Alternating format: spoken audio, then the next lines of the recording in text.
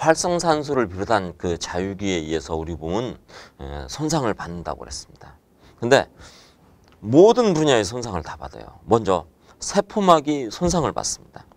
세포막은 우리 몸에 영양이 들어갔다가 나가는 통로, 노폐물이 나가는 그런 통로, 아주 중요한 역할을 하는데 이 세포막이 손상을 받고 기능을 못 한다는 거죠. 또 미토콘드리아. 미토콘드리아는 세포에서 작은 부분을 차지하지만 우리 몸의 에너지, ATP를 만들어내는 굉장히 중요한 그러한 그 기관이 되겠습니다. 그럼 미토콘드리아 손상을 받으면 어떻게? 에너지가 발생, 에너지 발생을 못하게 되지 않겠습니까? 또 어, 세포에 있어서 해독 작용을 맡고 있는 용해 소체라는 게 있는데 그 용해 소체가 소, 에, 손상을 받습니다. 더 나아가서는 DNA가 손상을 받아가지고 그래서 각종 암 발생에 있어서 이 자유기 즉 활성산소의 그 해로운 것은 아주 그 잘 알려져 있는 거죠. 그래서 DNA 손상으로 인해서 암에 이르기까지 다양한 어떤 여러 어, 단계로 우리는 손상을 받을 수 있다. 자, 그러면 그렇게 손상을 받고 우리 몸에 생기는 그런 질병은 뭐가 있겠느냐? 모든 질병이 한마디로 모든 질병을 다 일으킬 수 있다. 이렇게 생각하시면 되겠습니다. 뭐 각종 염, 염증, 그건 우리가 뭐 간염이라고 하면 꼭 간염 바이러스에 의한 것뿐만이 아니라 이러한 어떤 활성산소로 인해서도 간, 그 간염이 올 수가 있고 위염이나 뭐 위염뿐만 아니라 위 궤양 십이장 궤양도 관련이 있다 이렇게 알려져 있죠. 관절염도 마찬가지고요. 또 당뇨병, 어, 고혈압, 뭐 심장병, 뇌졸중.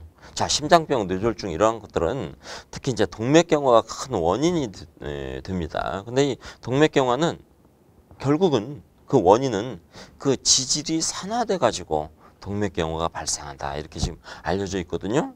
예. 또 피부도 마찬가지죠. 김이나 주근깨나 뭐 주름이 있다. 예. 이 활성산소에 의해서 피부의 콜라겐이랄지 엘라스틴이 예. 그 기능을 예. 산화되면서 기능을 잃습니다. 단백질 변성이 되는 거죠. 탄력이 떨어지는 겁니다. 그 밖에도 백내장이랄지 치매, 예, 아토피 피부염, 각종 암 이렇게 다양한 어떤 질병들이 활성산소하고 관련이 있습니다.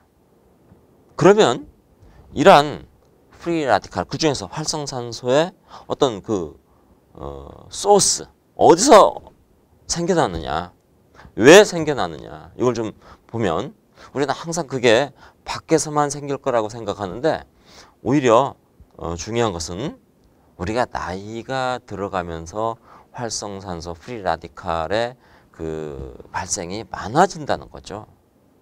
또 한 가지는 우리 몸의 대사, 신진대사 과정에서 산, 어, 어, 프리 라디칼이 발생합니다. 그래서 과식을 하게 되면요, 어, 이 free radical 활성산소가 많이 발생합니다. 그래서 어, 장수를 하기 위해서는 소식을 하라.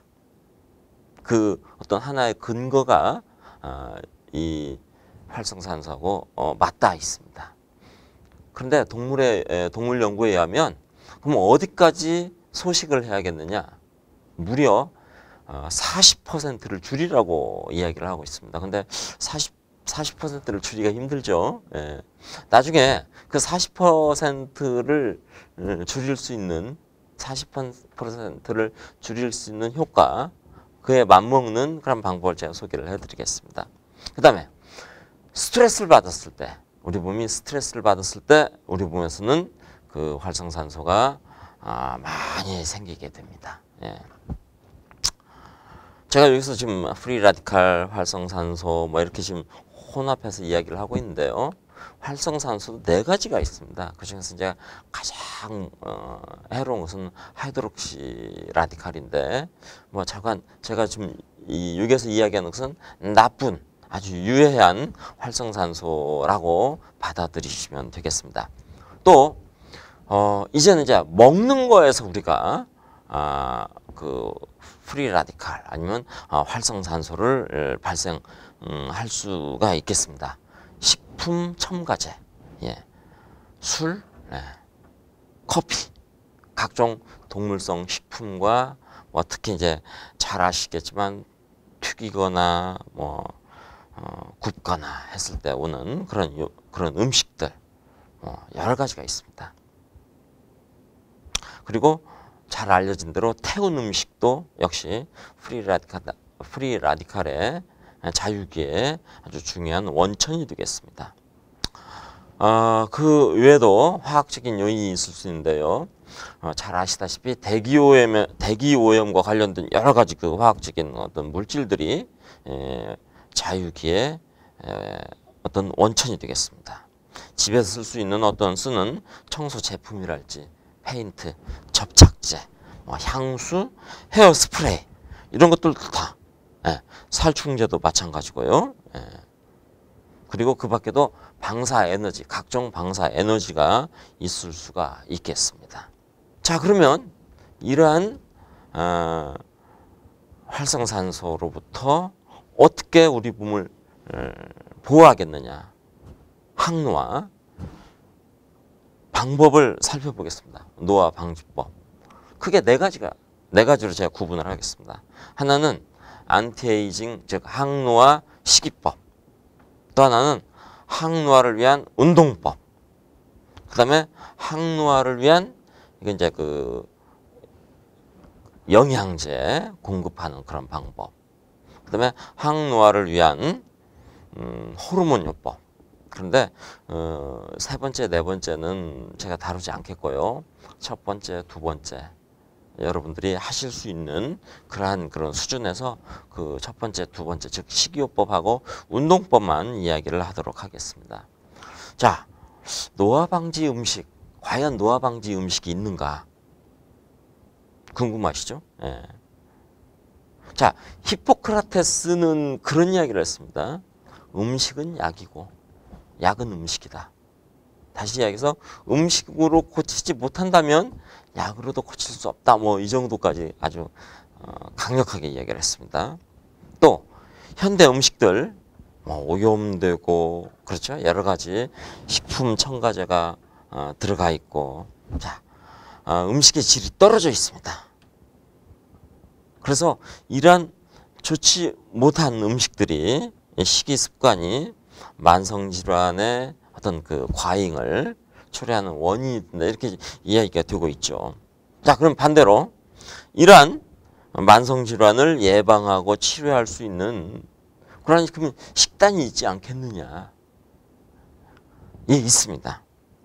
자 혈전의 위험을 감소시키기 위해서 비타민 E가 풍부한 식사, 비타민 E를 섭취한다. 그리고 암과 만성 질환을 예방하기 위해서 현미와 야채가 풍부한 그런 식단을 선택한다. 네, 잘 알려져 있죠. 또 관상동맥 질환을 예방하기 위해서 지방이 적은 저지방 식사를 한다. 네, 잘 알려져 있는 그런 그 예방법이 되겠습니다. 자, 노화방지 음식을 조금 더 어, 살펴보자면 각종 곡물이 있겠습니다. 쌀, 물론 이 쌀도 현미를 이야기합니다. 보리빌 옥수수도 좋은 네, 곡물이 되겠고요. 각종 콩류, 과일은 제가 조금 제가 그렇게 권하지는 않겠습니다. 왜냐? 과일도 굉장히 많은 파이토 케미칼들이 있어가지고 몸에 좋을 수가 있습니다. 그런데 이 과일에는 유독 과당이 있어가지고 이 과일을 먹었을 때 혈당이 예, 많이 올라갑니다. 물론 정상인들은 괜찮겠지만 당뇨 환자들에 있어서는 이 과당이 너무 많이 올라가요. 그래서 저는 어, 저를 찾는 환자분들께 특히 당뇨 환자분들께는 과일을 가급적이면 드시지 마라 이렇게 말씀을 드리는데 아 그분들 굉장히 이제 난처해 하세요. 이게 먹는 즐거움도 하나의 사는 즐거움인데 어떻게 안 먹겠느냐. 그래서 제가 좀 어, 다른 걸 드시라고 하는데 뭐 과일이 맛있지 않습니까? 예. 근데 저는 이제 과일 대신 야채를 드시라고 그렇죠. 예, 이 야채는 어, 과일 못지않게 비타민과 미네랄 그리고 여러 가지 예, 파이토케미칼 그리고 식이섬유가 아주 풍부합니다. 그래서 매일 다양한 야채 골고루 뭐 여덟 가지 정도 해가지고 야채를 섭취를 하자. 어, 한동안 미국에서는 하루에 어, 다섯 번 정도 이렇게 야채를 먹자 이런 운동을 하기도 했었습니다.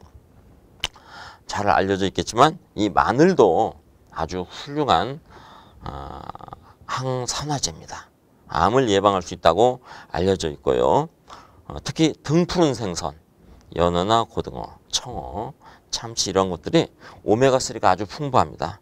그래가지고 일주일에 두세 번 섭취를 하는 것을 권해드립니다.